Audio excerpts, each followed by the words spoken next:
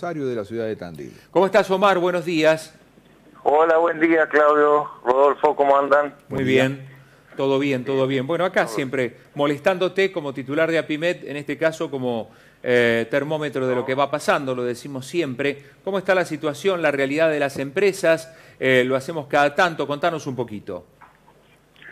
Bueno, eh, tenemos ya definido el tema del aumento de energía, que ronda el 40% para, para el sector. Y yo no sé si ustedes se acuerdan que en su momento cuando se hizo el acuerdo con Camesa de parte de la usina, había una fracción de esos fondos que iban destinados a inversiones, otra fracción a tarifa social y otro importe a devolver a la industria local, ¿no? A, los consumidores de potencia local. Todavía no está definido esto exactamente por la provincia, pero estamos en la espera de esa definición para que esos fondos se puedan acreditar en cada una de las cuentas nuestras de las empresas, ¿no? Que es importante. El tema de gas todavía no está definido, Claudio, ahí eh, estamos en periodo de definición de cuál va a ser el aumento de las tarifas. Este, en general tenemos un incremento enorme en valor dólar de los insumos, realmente ha sido impactante eso y se está reubicando los precios a ver a qué nivel de precio vamos a trabajar. Bueno, la inflación no cesa, eso es este, un impacto más importante en la economía de las empresas y se espera una reapertura de o una redefinición de panitarias en el mes de octubre, noviembre, que va a ser más que importante para, para el sector estimamos que va a redondear otro 20-25% y ya la UOM, que es el gremio principal del sector metalmecánico, arregló en torno al 45% más este aumento que se viene. ¿no? Así que realmente las expectativas son, si bien todas las empresas están con, con trabajo, no podemos decir que es una época de falta de trabajo, al contrario, la verdad es que la incertidumbre en torno a los precios de insumos este, y en general servicios, mano de obra, está siendo este, más que impactante en todo el sector, ¿no? Correcto.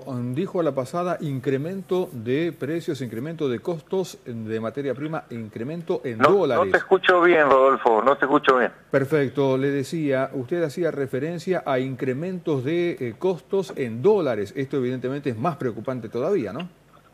Sí, en algunos productos tenemos incrementos en, en dólares que llegan al 30%. O sea que es más que impactante esto porque las empresas que exportan no pueden trasladar estos aumentos realmente al comercio exterior, ¿no? Y hoy en esta situación en donde el dólar evoluciona muy, muy, muy poco mensualmente, este, el incremento de precios es de esta naturaleza, yo diría que estamos peor que en la convertibilidad en términos de competencia ya a esta altura del año, ¿no? Sí, estaba escuchando... Tenemos un dólar muy bajo para exportación, y tenemos al mismo tiempo un crecimiento de precios en torno al 6% mensual, lo cual lo hace este, muy difícil eh, eh, de sostener el comercio exterior. ¿no? Correcto. Eh, vamos a recordar, y corregime por favor Omar si me equivoco, que cuando ustedes, digamos, cobran, cobran al dólar oficial, es como cuando exporta el campo. Claro, es el dólar divisa compra, el más barato el más barato de todo. Si bien hoy en día se está acercando mucho el divisa al billete Banco Nación, está a 5 puntos de diferencia, ha estado más, ha estado en torno a los 10. El dólar divisa comprador hoy está en 114,98. Por lo menos así cerró el viernes, todavía hoy no he visto. ¿Y cuando compran los insumos, eh, Omar? Lo compras al dólar divisa vendedor. Son cuatro cuatro y medio pesos más que el que te dije, son aproximadamente, eh, no, un poquito menos, dos pesos más, 116 más o menos. Correcto, o sea, ahí no hay tanta diferencia, no hay tanto problema, no, no, les ocurre como en algunos casos que tienen que comprar al dólar blue. No, no, no, no, no, no, no es ni el contado con liquidación, ni el MEP, ni el blue, ninguno de eso. El problema es que los precios en el mercado interno se van fijando a través del crecimiento del dólar blue. Correcto. Ese es el problema, ¿no? Este, y después trasladado al, al dólar oficial, digamos, al único tipo de cambio real que hay en el mercado de comercio internacional, este, hace que su, su precio realmente se eleve en estos porcentajes que te digo. El panorama que nos está planteando en el día de hoy es bastante más pesimista que el que nos ha eh, bueno, dibujado en otras oportunidades que hemos estado conversando. ¿Esto tiene alguna influencia, la guerra en todo esto, o es simplemente cuestiones propias de nuestra no, Argentina? No te logro escuchar bien, Rodolfo, pero creo más o menos la pregunta. El panorama es, es complejo. Eh, la inflación este, destruye todo lo que le pongas al medio, destruye actividad económica, destruye movimiento en general de las empresas, destruye este, la demanda fuerte de trabajo que está habiendo, destruye los salarios, destruye realmente la economía, la socava de una manera que es irreparable porque este, tiene que ver principalmente con un aumento de costo desmedido y un acomodamiento de precios que cada uno va reaccionando y tirando del mercado hasta lo que da, por lo tanto el promedio es el 6% mensual, pero en muchos otros sectores mucho más alto, ¿no? De acuerdo a lo que el mercado te permite este, afrontar. Correcto, correcto.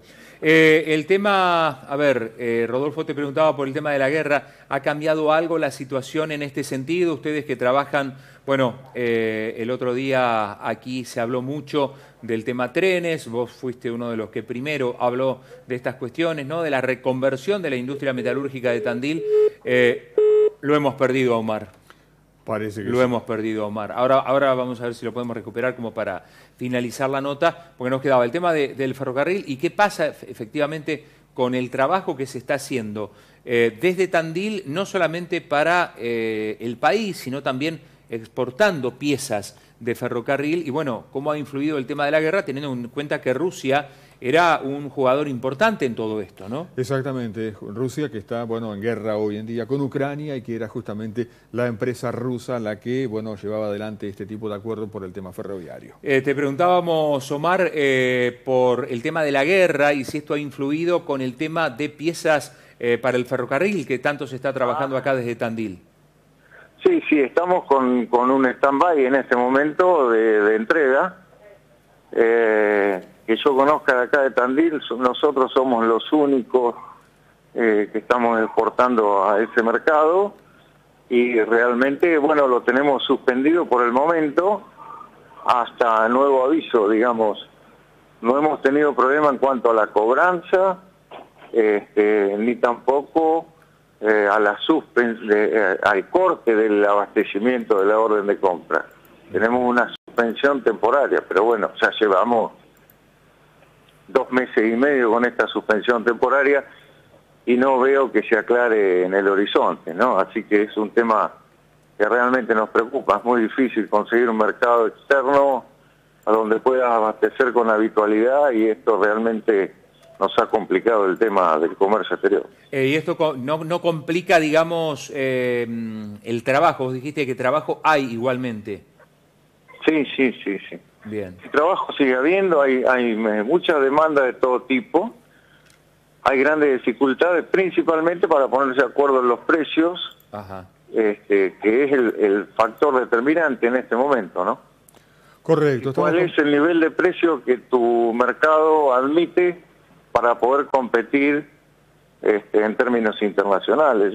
Nadie puede trasladar en comercio exterior un aumento del 30% o 35%, es es muy, elevado, no lo entiende nadie en el mundo, solamente nosotros, ¿no? Así que esto dificulta las cosas, pero de sostenerse la actividad económica en general, este, bueno, hay que resolver el tema de la inflación y ese es un aspecto no menor para cualquier actividad económica, comercial, de servicios, industrial o lo que sea, inclusive agropecuaria, ¿no? Correcto, estamos hablando con Omar Fará, economista, presidente de, contador, mejor dicho, presidente de APIMED, eh, justamente hablando de economía, Fará, eh, el dólar viene teniendo bastante volatilidad, especialmente la última semana. ¿Alguna palabra, por favor, sobre el dólar? Bueno, el dólar, como siempre te digo, el blue es una expectativa y es una un acomodamiento en función de cómo opera no solo la economía, sino también la política. Semejante volatilidad tiene que ver con lo que vivimos a diario de cuál es la cuestión política y económica, ¿no? No se cree que se cumpla con lo comprometido y la cuestión política interna de la alianza gobernante cada vez más tensa. Eso hace que tenga semejante volatilidad. Pero la verdad es que en el mercado no hay mucho dinero y eso realmente obstruye la demanda de, de dólares, por eso ves semejante movimiento entre crecimiento y acomodamiento de casi un par de días de diferencia, ¿no? Claro. Sí, así que va a estar así por un tiempo hasta que esto encuentre el camino o que realmente la política, como dije hace un tiempo atrás, se ponga los pantalones largos y entiendan que de esta manera este, realmente se dificultan las cosas en lugar de acomodarse, ¿no? Por más que algunos pierdan y otros ganen poder. Correcto. Omar, se ha liquidado, el campo ha liquidado eh, bastante, bastante cereal vendido, sin embargo las reservas no aumentan. Eh, ¿Qué lectura haces de esto? Eh, todavía queda algún, algún punto más para liquidar fuerte en este mes y en el próximo. Este, la lectura que hago es que realmente se está liquidando lo justo que se importa y no se logra hacer la brecha entre exportación e importación y la demanda de dólares en la cantidad que estamos viendo para cumplir con las etapas de el acuerdo con el fondo realmente hacen difícil que se, se acumulen reservas.